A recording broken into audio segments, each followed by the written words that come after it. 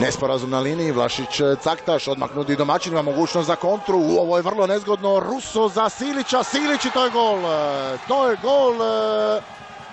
Nažalost, 40. minuta dolaze domaćini do izjednačenja na njihov način sa njihovom igrom. Krasno su to, mora se priznati, nogometaši Silame Kaleva iskoristili onu pogrešku